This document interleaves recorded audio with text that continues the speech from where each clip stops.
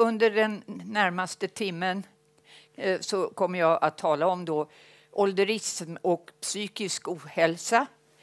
Eh, och det är idag den 27. Jag håller det här, inte imorgon. jag skulle hållit det imorgon, men då blev det äldredebatt från klockan 12 i, i, i riksdagens kammare. och visst kan jag vara borta från en del debatter, men inte den. Och eh, jag kommer att använda ordet årsrik som synonym till gammal och äldre en del i det här föredraget. Och det går tillbaka till att när jag var ordförande i SPF Seniorerna så började vi att arbeta just mot den åldersdiskriminering, den fördomsfulla syn som samhället visar människor som har kommit upp i åren.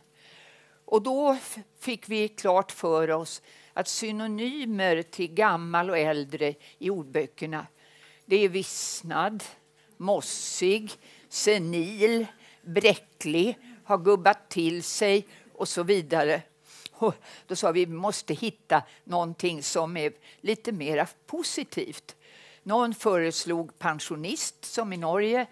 Men det som eh, slog rot det var ordet årsrik. Det var en läkare och distriktsordförande för SPF Seniorerna i Värmland som sa vi är rika på antal levda år, vi är rika på kunskap och vi är rika på någonting som man inte kan läsa sig till, bara leva sig till, nämligen livserfarenhet. Så där ordet står för det, det här som ni ser på bilden. Och eh, det har faktiskt kommit ut en liten bok och en vandringsutställning som heter Årsrika.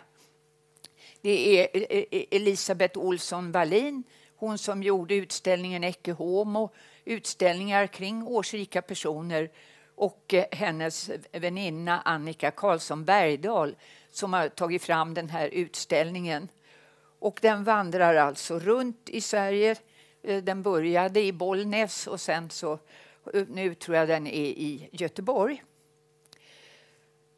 Och då första frågan man ställer sig när man ska diskutera eh, en, eh, ett ämne då är ju vem är gammal, äldre, årsrik?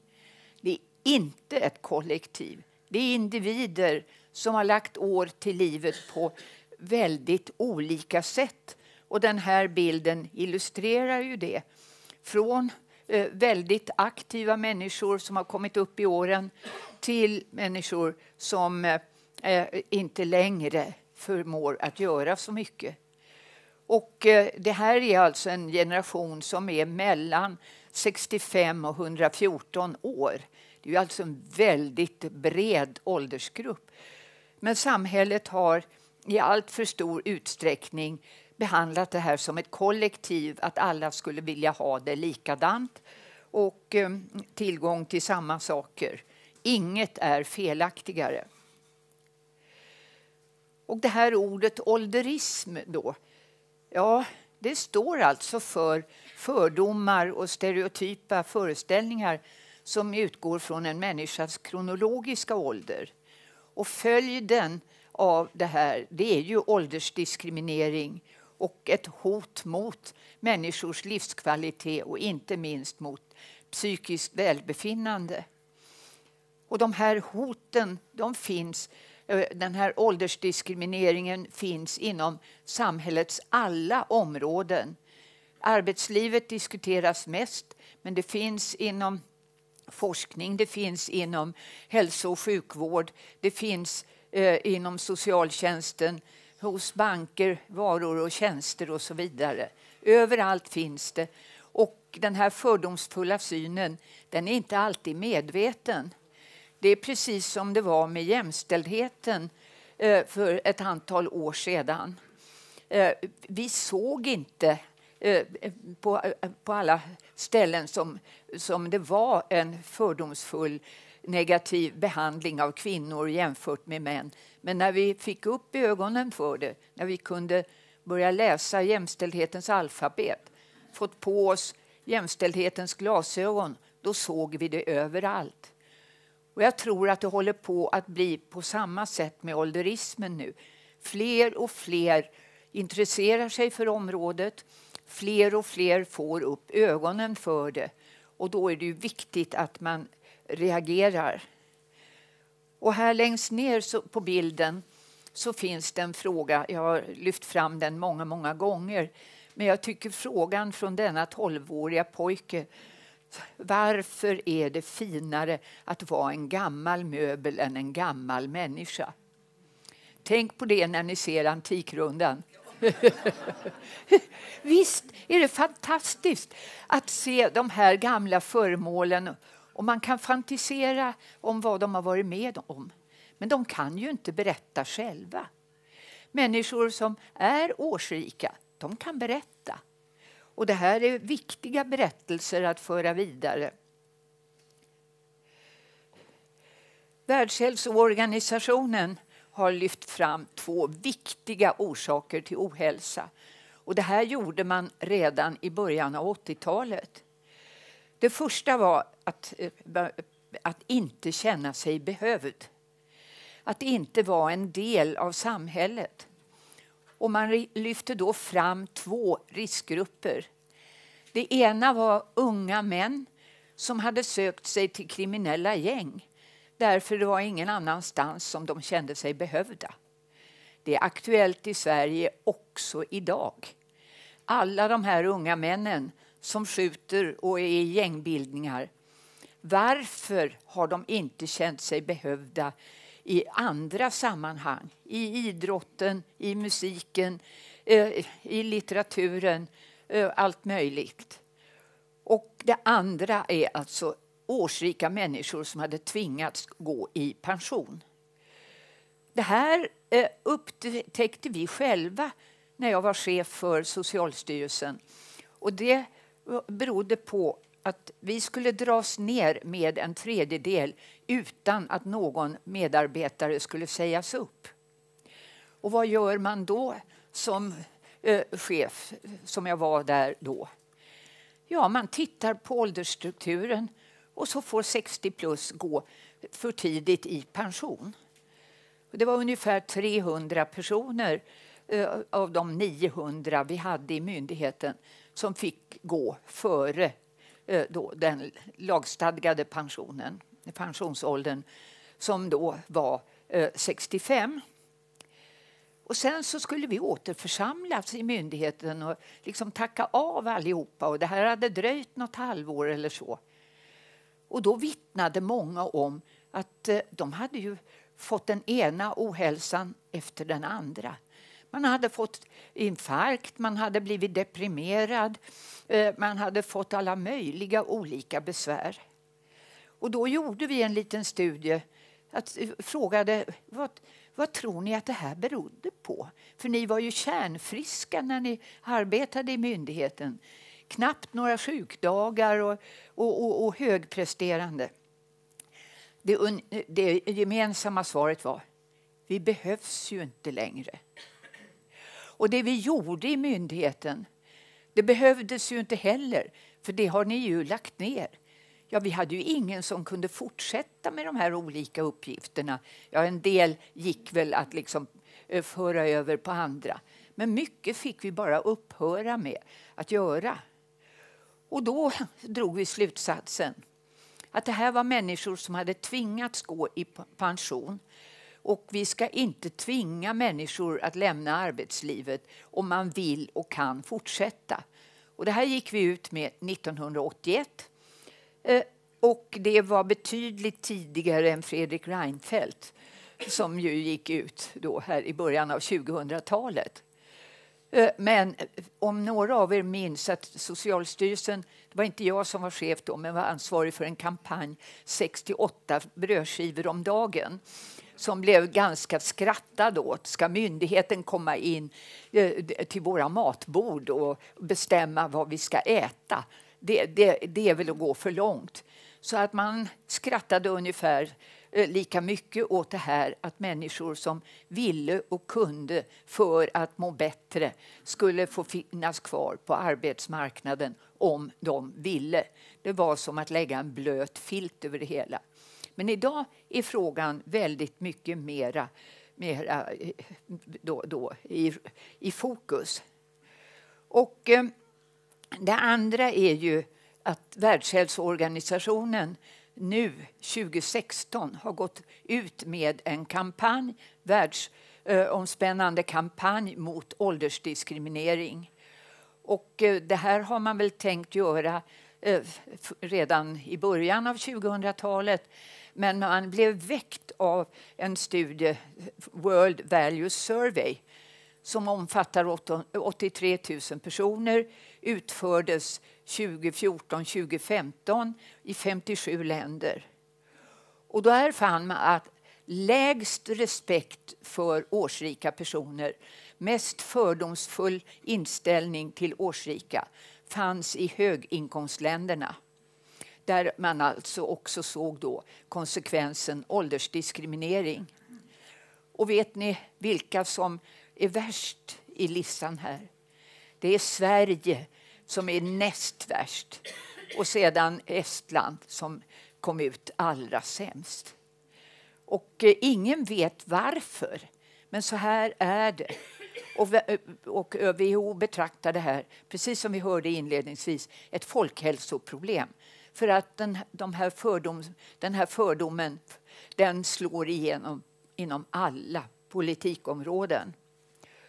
Eh, och här, ohälsa lyfter Världshälsoorganisationen fram som en stor risk.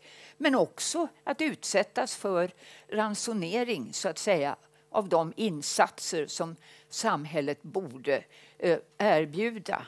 Och det här ser vi tyvärr i hälso och sjukvården. Även om ingen vill erkänna att så är det. Men det är bara att titta på siffrorna. Det är bara att titta på hur, uh, vad, vad, hur satsar man. Vi ser ju att yngre människor, när de kommer med ett ohälsoproblem så då letar man orsaken, man vill ställa diagnos. När det gäller årsrika personer, allt för ofta, behandlar man symptomen, tar inte reda på orsaken. Ta till exempel en änka som kommer till vårdcentralen och eh, mm, eh, säger jag sover dåligt och jag är lite orolig och så. Så sätter man in läkemedel. Men frågar man lite djupare så kanske det här beror på att man har varit anhörigvårdare i många år, isolerats från samhället och börja ta till flaskan, dricka för mycket. Och då är det inte läkemedel som hjälper, utan då är det drickandet man ska åtgärda. Och så här kan man gå igenom eh, och se att det är i allt för många fall. Och psykisk ohälsa då? Ja, vad kommer jag att ta upp? Ja, det är psykisk ohälsa i samband med åldrandet. Det är känsla av ensamhet, depression, och ångest. Men sen finns det ju också i den här generationen, liksom i de yngre, det finns då sömnproblem och bipolär sjukdom, psykoser och så vidare. Hela långa listan. Bara för att man mm, kommer upp i åren, blir årsrik, så då försvinner inte det här av sig själv. Och jag kommer att gå in lite grann på behandlingsmöjligheter också. Men det första jag vill ta upp det är ensamhet. Och det har ju börjat diskuteras som en ohälsofaktor under de senaste åren. Det är väl framför allt genom det som hände i England. Joe Cox, en minister där, hon eh, började fokusera på ensamhet som en livskvalitet och ohälsofaktor. Sen blev hon mördad och då eh, till hennes minne så eh, kom då eh, den brittiska regeringen att satsa särskilt på att ta reda på hur ser det ut med förekomsten av ensamhet och vad kan vi göra åt den? Och där fick då en, en person den ministerposten, så att säga, att gå vidare på det Joe Cox hade tänkt. Och Peter Strang som finns vid Stockholms sjukhem och också i Lund. Eh, professor, han skrev en bok, Att höra till, där han beskriver mycket kring sociala nätverk och deras betydelse. Och han skriver då att långvarig ofrivillig ensamhet innebär att man lever i en kronisk lågintensiv stress och med påslag då av stresshormoner som kan ge högt blodtryck och inflammation i kroppen. Och det ökar risken för sjukdomar som hjärtinfarkt, stroke, demens men också en högre risk för depression. Och eh, en, en, en forskare har dragit, eller sagt så här att ensamhet verkar kunna påverka vår hälsa lika negativt som rökning. Alltså så hög risk är det för de här hälsoproblemen. Och då är det ju också ett folkhälsoproblem. Ja, vad vet vi då om förekomsten? På SOM-institutet 2015 kom Brylde och Fors fram till att mellan en halv och en miljon svenskar kan betraktas som ensamma. Och då är det alla åldersgrupper, det är inte bara den mest årsrika. Mer bland män, låginkomsttagare, arbetslösa och storstadsbor. Och det här, det här märker jag personligen väldigt tydligt. Jag bor mitt i Stockholm. Ja, möjligtvis hejar ju vi då på grannar som bor i samma trappuppgång, men mer är det inte. Men ute på, i fritidshuset på ön där det finns 20 fastboende ja, där eh, betraktas det ju som en negativ handling om man inte alltid stannar och byter lite ord. Vi har ungefär 25 meter till där vi sommartid kan, kan handla lite varor, lite mat. Det tar minst en halvtimme att gå den sträckan. Man är aldrig ensam där. Man umgås kanske inte inomhus, men utomhus. Man ska alltid stanna och prata. Det gör vi inte i storstan. Och det tror jag har en negativ effekt på, på hälsan faktiskt. Ja, men sen så är det någonting tänkvärt. Ensamhet är faktiskt mer utbredd i medelhavsländerna än i våra nordliga länder. Och det är ingen som har djupdykt och forskat kring varför. En hypotes är att i de nordliga länderna, Norden och, och, och, England och Nederländerna och så, så har vi pensioner och eh, det, vi är inte beroende av våra barn och barnbarn. Medan man, ju längre söderut man kommer, desto mer ekonomiskt beroende är man av andra familjemedlemmar. I Portugal så är det inte bara barn och barnbarn som ska försörja sina mor och farföräldrar utan det är kusiner och ja, hela stora släkten.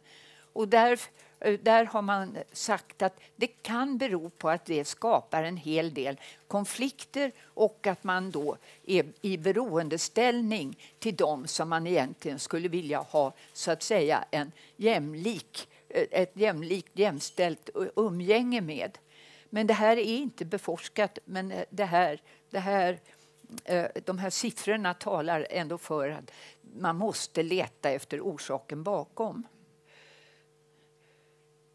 Sen det finns också andra forskare som har tittat mera på att eh, eh i Linköping finns det då, eh, och Norrköping ett geriatriskt gerontologiskt forskningscentrum. Och där så eh, har man funnit att periodvis så är det då 40 procent som lider av ensamhet. Och det, då är det alltså alla generationer man talar om. Socialstyrelsen 2014, 7 av 10 besväras av ensamhet, 2 av 10 gör det ofta. Men de här siffrorna visar att eh, ensamhet är ett reellt problem i vårt samhälle. Och här, så här ser det ut med, i hushållen. Fyra av tio svenska hushåll är ensamhushåll och över 60 år så är det två av tre som lever ensamma och sju av tio på äldreboenden lider av ensamhet. Och det är trots att man där har personal och andra boende omkring sig. Man har inte lyckats skapa så att säga, socialt nätverk här utan man lever ganska så ensam i sin bubbla. Och ensamma människor söker oftare sjukvård och leder till depression bland annat och fysiska problem som jag sa nyss. Det här är ganska nya siffror som alltså från förra året man har börjat intressera sig för eh, hur, hur är det vår allra sista tid innan vi lämnar jordelivet. I Göteborg så fann man då att 105 människor förra året dog ensamma. Stockholm, som ju är en större stad, 237. Och var femte person som dör på sjukhus dör ensam. Det här, så här ska det inte vara. Man ska ha rätt till att ha en person nära sig när man lämnar jordelivet. Och vad, gör, vad göra då? Ja, i England där har man kommit fram till att man måste ha en nationell strategi som inkluderar många olika samhällssektorer som vård, omsorg, stadsplanering, transporter, kultur, civilsamhälle, näringsliv etc. för att komma åt det här med ensamheten. Men i väntan på det, jag tror att det är var och en av oss att se vad kan vi göra där vi står. I pensionärsorganisationer, i, i andra eh, organisationer som Röda Korset och idrottsföreningar och så vidare. och så vidare. Helt enkelt att gräva där man står.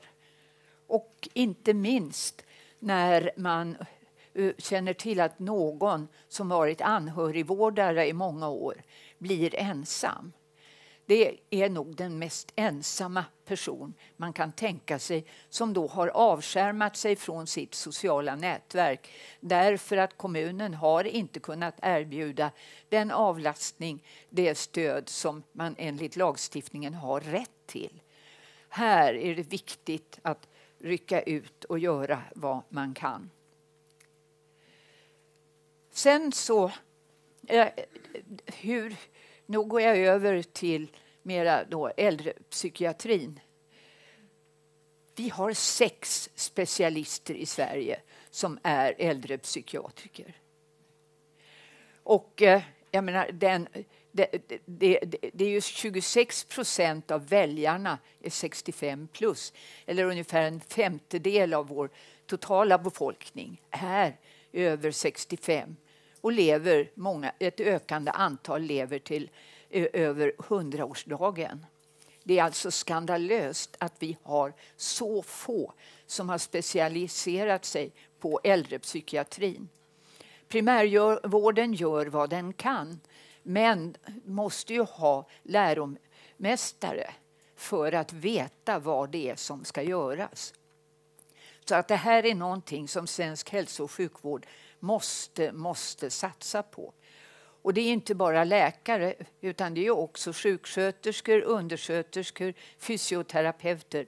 Alla yrkesgrupper som möter årsrika människor i sin vardag måste kunna en hel del om just vad man ska göra när det gäller psykiatrisk ohälsa eh, i den här åldersgruppen. Och där så är det bra, och det är en viktig sak att lära ut, det är ju läkemedelsbehandling av årsrika personer och inte minst användningen av psykofarmaka. Eh, för här föreligger ju en ökad känslighet för läkemedelseffekter. De doseringar som används på yngre passar inte för den årsrika eh, generationen. Visst, upptaget av läkemedel det, det, är ungefär samma som för yngre. Men sen så med ökande eh, då, fettmassa eh, som ersättning så att säga från muskelmassa i kroppen så lagrar man upp eh, då fettlösliga läkemedel och dit hör de ångestdämpande och sömnmedlen. Och, så att, att det, det, är en rad frågor här som jag inte går in på närmare men det är, det är alltså läkemedel som fungerar annorlunda när de ges till den årsrika patienten jämfört med den yngre. Och här måste vi också få fram bättre kliniska prövningar. För många av de här läkemedlen är inte prövade på den åldersgrupp som använder de här läkemedlen mest. De är utprövade på 60-åringar. Högsta förskrivningen ligger kanske på 90-åringar. Där har den europeiska läkemedelskontrollen dock börjat att utvärdera de här läkemedlen. Vad ska man tänka på? Ska man överhuvudtaget använda dem? Eh, men sen så genom Brexit, som fortfarande inte är i mål, så har den europeiska läkemedelskontrollen ändå flyttat från London till Amsterdam. Så Brexit har i alla fall något konkret med sig med den här flytten. Men flytt av sån här myndighet innebär ju då, då förlust av experter. Och det, det, så det har tyvärr blivit ett avbrott i det här arbetet. Men jag tror att det kommer igång igen om något år eller så. Ja, sömnproblem då med stigande ålder. Då, det, förekomsten, ja ni ser knappt för det, de, här, de här bilderna har för liten text. Men eh, sömnproblem dyker upp. Man får en eh, an, eh, annan typ av sömn med åren. Man sover inte lika djupt och inte lika långa perioder, så att säga. Men eh, när problemen dyker upp ska man inte börja med läkemedel utan man ska börja med eh, att ändra rutinerna. Det kan vara läggtider och det kan vara svalt i sovrummet. Inte dricka kaffe eh, eller te eh, för sent på kvällen? Jo, om man är mycket gammal så kan kaffe och te faktiskt vara bra. För att sömnproblemet kan bero på sämre cirkulation i hjärnan. Och dricker man då kaffe eller te så förbättras den. Men, men man, man ska i alla fall pröva här med att inte förtära det här. Och sedan så, så eh, gärna fysisk aktivitet, gå ut och gå på kvällen och så. Och sen om det ändå inte hjälper så eh, läkemedel, sömnmedel här, det ska användas kort tid. Därför att de eh, läkemedlen tappar sin effekt när man har hållit på eh, under, under längre tid. Och där ser vi tyvärr Eh, genom den individbaserade receptregistrering vi numera har att det finns eh, då årsrika personer som använder de här preparaten år ut och år in. Hjälper inte så mycket för sömnen. Däremot om man försöker avsluta, då blir det abstinenssymptom. Så att i första hand försöka utan läkemedel och se vad svalt i sovrummet, ut och gå på kvällen och, och, och vad man äter och dricker och så. Ja, depression då med stigande ålder. Ibland är det då med samsjuklighet som ångest. Och man räknar med en så hög siffra som 12 till 15 procent. Och allt som är över 5 procent eh, betraktar Världshälsoorganisationen som ett folkhälsoproblem.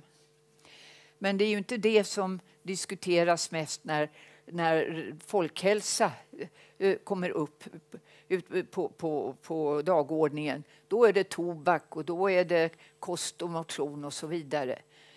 Viktigt, ja visst, men inte glömma bort eh, depression och de, orsakerna. Och det kan då behandlas med olika former eh, av behandling. Då. KBT Eh, eh, givet till årsrika personer har eh, ofta effekt. Och sen så medelsvåra med läkemedel men då tillsammans med samtalsstöd och KBT. Och svårare depressioner, där kan man få lov att gå in med läkemedel av lite kraftfullare slag. Men återigen samtalsstöd och KBT. Och riskfaktorer då för depression och ångest. Jag har ju varit inne på det lite tidigare.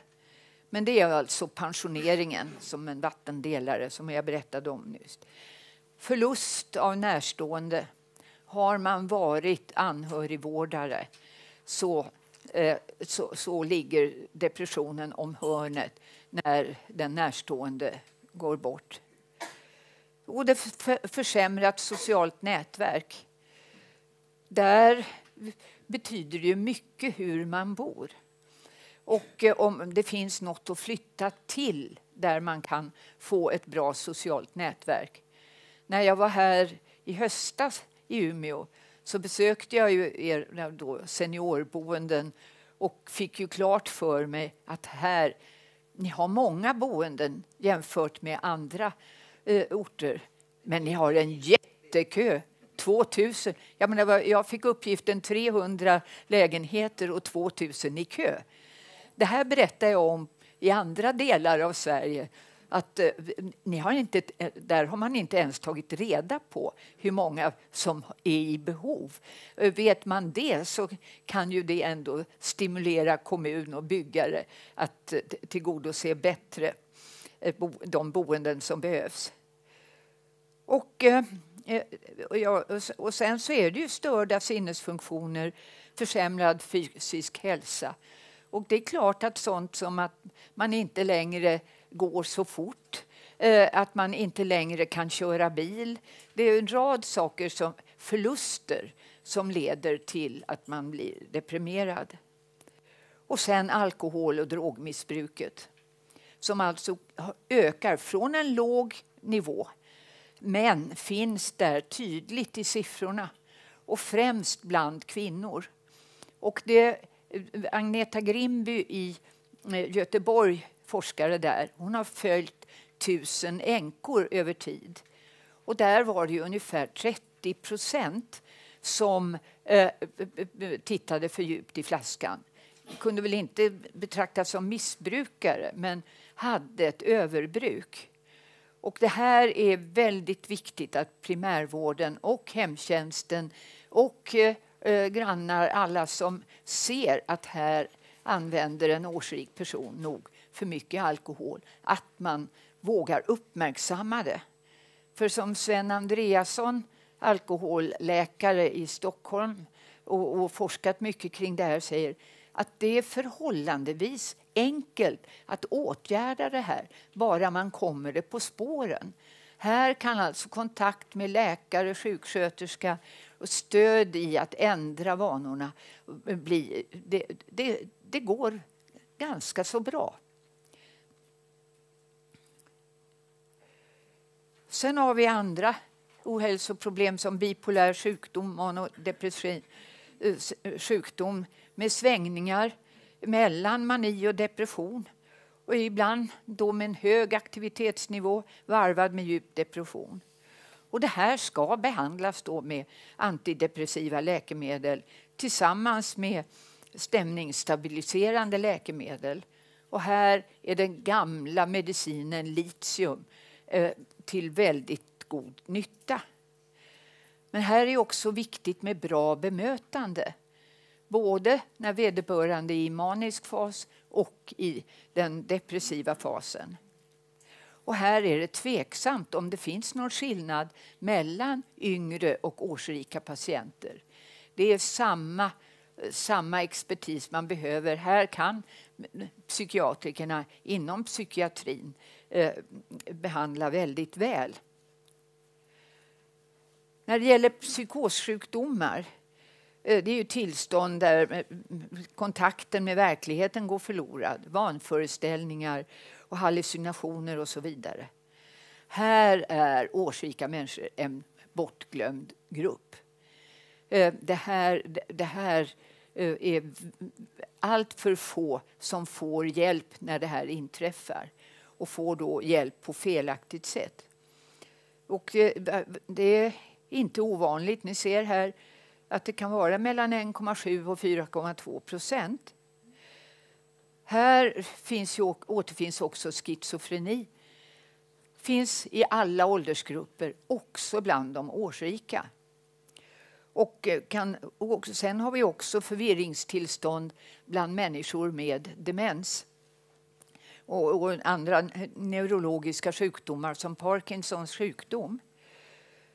Men det, det, diagnostiken, eh, organisationen för att ställa rätt diagnos, den är inte anpassad för årsrika. Och inom det här området, tyvärr, tyvärr, så behandlas allt för ofta symptom och in, man ställer inte diagnos. Och det här är ju viktigt också för vilken behandling man ska få. Så, eh, och då är de här diagnostiska metoderna vi har inte anpassade för årsrika. Så att här behövs en hel del forskning. Vad är det som man ska använda för att pricka rätt, så att säga? Och eh, eh då, ja, vi har neuroleptika, läkemedel för de här tillstånden. Men doseringen, vad vet vi här? Med tanke på den förändring som sker i kroppen eh, när man blir mer och mer årsrik.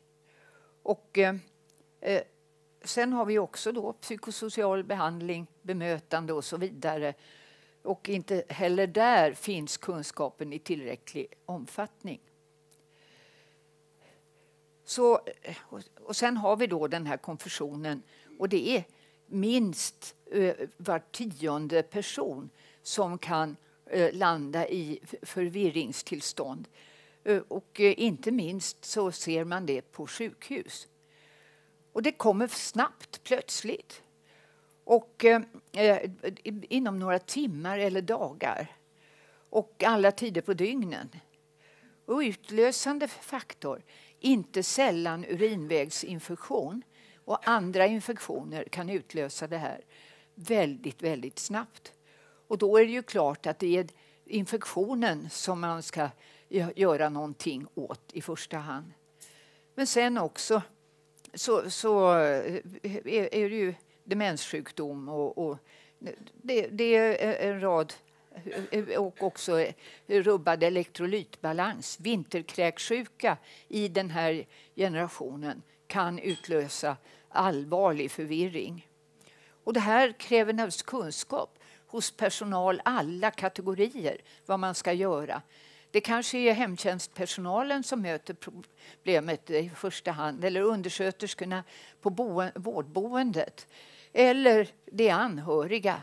Och här vill jag ju då komma in på hur viktigt det är att anhöriga får den utbildning, eh, den kunskap som behövs för att man ska kunna ta hand om sina, sin, sin, sin eh, närstående eh, men också vad man ska då göra om oväntade tillstånd dyker upp. När ska man eh, ringa på, på, på doktor? När ska man ringa ambulans och så vidare? Och här ser det väldigt olika ut i kommunerna. Om man går in i Socialstyrelsens uppföljning av äldreomsorgen för 2018 där kan man ju se kommun för kommun vad man erbjuder eh, för insatser. Och det, det här är en väldigt bekymmersam läsning därför det varierar väldigt kraftfullt. Nu har jag inte varit inne på Umeå och sett hur det ser ut här men gör det. Gå in och titta på era egna siffror och, och se vad det är som ligger lågt och, och, och larma. Viktigt att göra någonting åt det. Sen så finns det också de här neuropsykiatriska sjukdomarna. ADHD. Det, vi talar väldigt mycket om, om barn och ungdomar med bokstavskombinationer. Men vi har inte så få årsrika personer som aldrig har diagnostiserats. Man har mer sagt att jag var stökig som barn i skolan och så vidare och, och, och lite eh, egen som vuxen och så. Men det här är eh, problem som också finns i den mest årsrika eh, generationen. Och det, är, det, det, här, det här kan yttra sig i ouppmärksamhet, att man är kaotisk, glömsk och svår att ha svårt att fatta beslut på alla möjliga sätt. Och eh, hyperaktivitet och så vidare. Och eh, eh, um, impulsivitet. Och här är har vi väldigt lite kunskap om hur vi ska erbjuda hjälp. Man har forskat kring den unga generationen men inte kring den årsrika.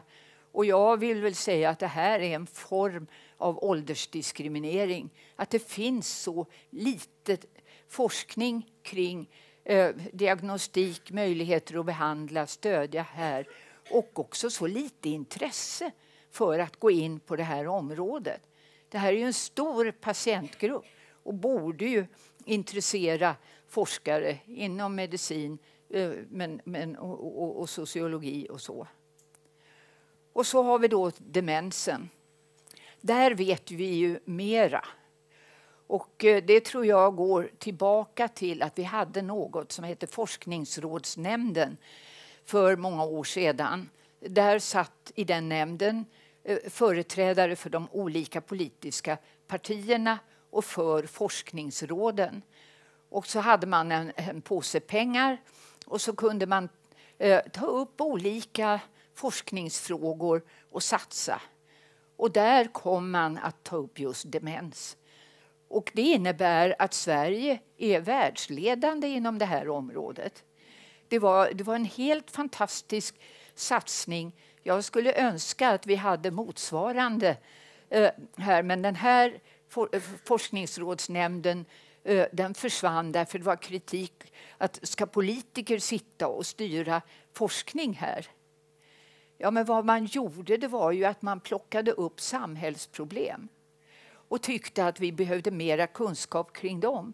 Och det här var kanske problem som inte forskningsråd, forskningsfinansiärer utifrån sina utgångspunkter såg som mest, mest eh, eh angelägna. Men vi satsade på demens och man satsade på ett helt annat område. Det var nämligen epidemiologi. Och, eh, och vad är det som orsakar olika ohälsor eh, eh, eh, som kan uppträda på grund av arbetsmiljö, läkemedelsbehandling och så vidare. Och inom det området är Sverige också världsledande. Så att... Ja, nu är jag ute i politiken en sväng, men jag skulle önska att vi hade den här möjligheten. Men demens, vi räknar med att det är ungefär 130 till 150 000 personer med demens eh, i Sverige och att det minst 20 till 25 000 insjuknar varje år. Men vi ser en avplaning nu eh, på de forskningsinstitutioner som följer utvecklingen här så kommer det eh, då information om att nej, det, senare läggs. Det håller på att förändras här. Om det handlar om livsstilsvanor eller vad, det, det vet man inte. Eh, men i vilket fall som helst så räknar man med att antalet kommer att fördubblas till 2050 på grund av att andelen årsrika personer eh, ökar nu genom 40-talisterna. Och eh, det är stora skillnader på hur människor utreds här och, och därmed vilka, vilken typ av demens som det handlar om. För det påverkar också valet av behandlingsinsatser. Så att eh, det, det, här, det här är ett viktigt område att satsa på. Och här behövs också kunskap eh, i, i, eh, i eh, då, de olika yrkesgrupper som kommer in i form av team för att hjälpa människor med demens att få en bra livskvalitet. Men demensen är ju också anhörigas sjukdom. Det är lika viktigt att eh, eh, eh intressera sig för eh, de, eh, de anhöriga, ge dem kunskap. Dels vad sjukdomen innebär, utvecklingsfaser, men också vart man kan vända sig och få hjälp. Eh, de eh, kommuner som har anhörigkonsulenter, där är det bättre därför att där är det bättre med hjälp eh, för att samordna de olika insatser som behövs. Hur går det att bo kvar hemma? Dagcentra där man kan få stimulans och sysselsättning under dagtid det är viktiga insatser. Läkemedel. Ja, vi har ju lite läkemedel som eh, förskrivs som eh, bromsmediciner. men vi har inte boten ännu. Det är ju, no det är ju Nobelpris till den som hittar möjligheter att bota. Det, det, det, det skulle verkligen revolutionera tillvaron för väldigt många årsrika anhöriga och närstående och naturligtvis också betyda mycket för skattepåsen. Och demens, vad göra? Ja, det är träning. Håll igång. Och nu har vi ju också hjälpmedel. Vi, vi har ju armbandsur, GPS, så att man kan eh, utan, eh, eller inte utan risk, men det går idag bättre eh, eller eh, större möjligheter att eh, en dement person kan ut och, och promenera själv om vederbörande vill. En del vill gå ut själva, men också då möjlighet att spåra var vederbörande finns. Och, och, så att det här, där, där finns möjligheter. Sen posttraumatiskt stresssyndrom. Det här kommer vi att få se mycket av framöver bland de människor som har kommit från krigshärjade länder. Vi ser det också i den egna befolkningen om det är eh, människor som har utsatts för hårda, allvarliga trauma som våldtäkt och andra traumatiska händelser. Men eh, alla de som har kommit från andra länder, i, de, i den gruppen är det en stor andel som har hemska upplevelser med sig och som man kanske inte i dagsläget märker så mycket av. Men när de kommer upp i åren och kanske demens börjar slå till då kan det komma väldigt oväntade reaktioner. Och jag kan berätta om en, eh, då en årsrik man från något land. Han hade blivit torterad på olika sätt. Bland annat genom att man hade droppat hett vatten och het olja på honom. Och han hade kommit hit och levt hyggligt normalt. Men när han hade blivit då årsrik och var hos tandläkaren så kom han att plötsligt fara ut och börja slå sönder inredningen. Och vad var det som hade hänt? Jo, ni vet den där kranen med vatten man har som man ska då, då, då skölja munnen i en liten bägare. Den stod och droppade. Och det där ljudet väckte till liv i hans hjärna den tortyrsituation han hade befunnit sig i med droppande vatten och droppande olja hett på honom. Och, eh, och det, det, här, så det här kan hända precis när som helst. Och jag, jag var på ett demensboende i Öst, Österbotten eh, för några år sedan och vi skulle in och titta på det. Det var jättefint och allt och hade ritat. Och, och där satt det två till åren komna män. Så när vi kom så plötsligt så slog de iväg kaffekoppar och allt och rusade därifrån. Och då eh, kom det en sjuksköterska fram till oss och sa ni får inte komma in så där. De har varit med i vinterkriget. Och så som ni kom in så trodde de att det var en fiendepluton som kom. Ja, visst, det hade vi ju ingen aning om att vi kunde uppfattas så. Men de här männen upplevde plötsligt en situation som de jämställde med eh, en situation under vinterkriget, eller vad det var. Ja, så att eh, symptom då, PSD, det är en ökad ångestnivå, depressiva symptom och varierande stämningsläge. Mardrömmar är vanliga. Och eh, ångestsymptom av olika slag och sömnproblem. Och som jag har beskrivit nyss så kan de alltså ha under livet fungerat väldigt väl. Det är när man kommer upp i årsrikedomen som det här ger sig till känna. Beroende och missbruk bland årsrika. Jag var inne på alkohol. Läkemedel är också ett problem. Det här att skriva ut lugnande medel, sömnmedel kan leda in i ett beroende av de här preparaten. De ska användas kort tid. Och eh, vi, vi såg i Jämtland, där vi hade eh, ett individbaserat receptregister hur eh, en del hade satt i system att gå till olika doktorer och få ja, en begränsad mängd, men tillsammans så blev det någonting som blev väldigt mycket och de hade hamnat i beroende.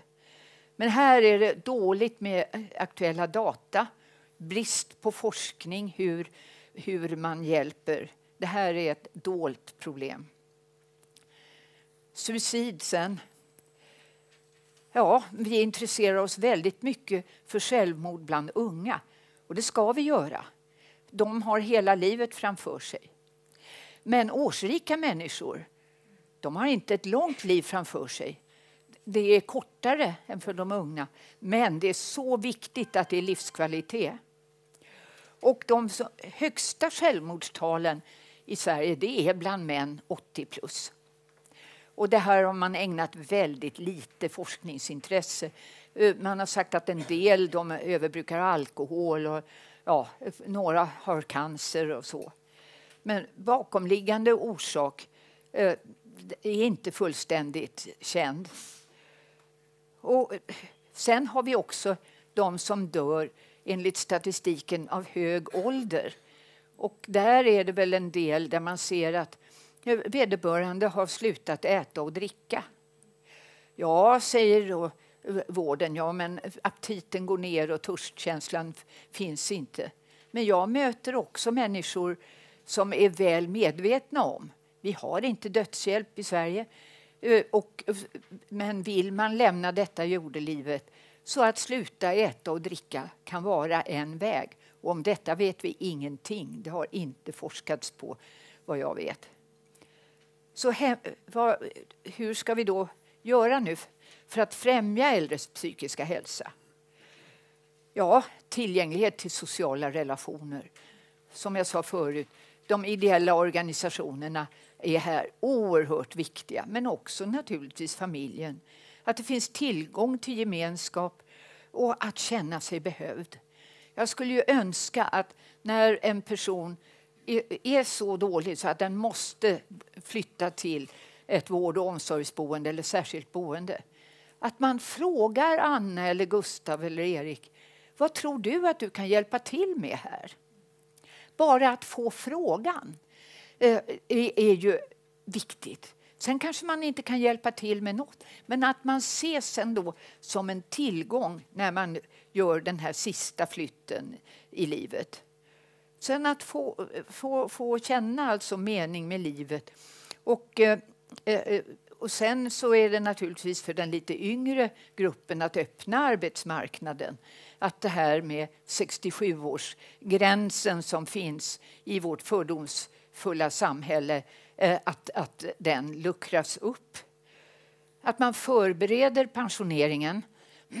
På 80-talet så var det framförallt i offentlig sektor så hade man eh, då studiecirklar där man förberedde eh, Eh, personer för pensioneringen. Det är borta överallt. Och när jag har tagit upp frågan så nej, men det är inte arbetsgivares sak att förbereda sina anställda för pensioneringen. Ja, men det kan vara då ingången till ett nytt liv, att man uppmärksammas på allt möjligt annat eh, som man kan göra att när man går in i, som någon kallar det, en livslång semester, hur kan man använda den på ett stimulerande, bra sätt? Och, eh, och sen att man också uppskattar värdet av de insatser som årsrika gör i samhället. Om man yrkesarbetar då syns det ju i nationalräkenskaperna. Men värdet av allt det här eh, man gör i civilsamhället syns inte. Jag fick en uppgift om att anhörigvården i kronor motsvarar nu 80 miljarder.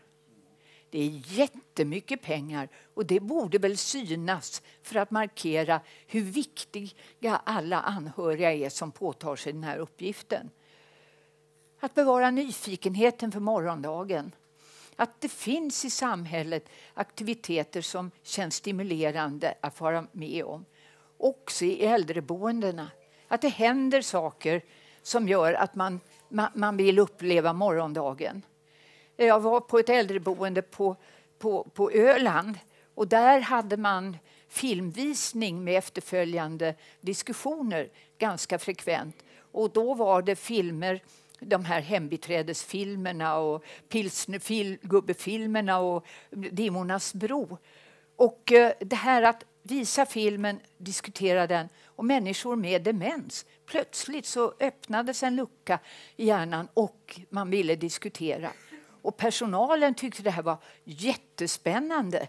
För att de, började de boende började ju tala om en tid som eh, de yngre ju inte hade varit i närheten av. Att det är en vit svensk historia med de här pilsnergubbarna och hembiträdena.